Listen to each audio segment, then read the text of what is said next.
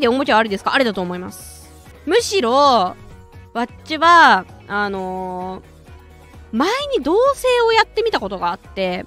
で、あの、同棲ね、一緒に住むやつね、一緒に住んでみると、なんかね、その付き合っ、なんていうの、まあ、同棲の時は別に結婚してないんだけど、あのー、別々で暮らしてる時って、なんか会えた時に、今セックスしなきゃって言って、今チンコはめなきゃ、オラオラオラって言って、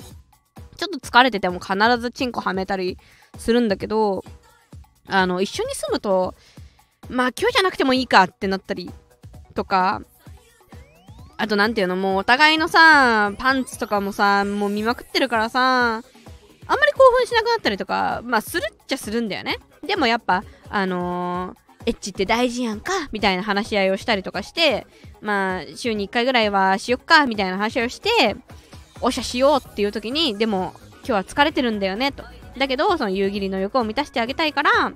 あの、しようってなった時に、いや、これは相手に、相手に前戯をやらせすぎないようにしようということで、あの、バッチはですね、密かにですね、お風呂で、えっ、ー、と、バイブを使って先にこう、クリトリスに当てて、うってこう言ってから、よしよし、オッケーオッケー、決まった決まった仕上がってるっていう、その、仕上がった状態でサクッとはめて終わるみたいなのを、その競技の上やったことありますね。